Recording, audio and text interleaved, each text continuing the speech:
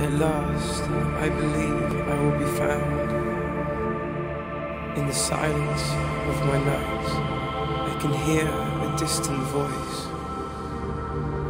Someone out there is calling my name.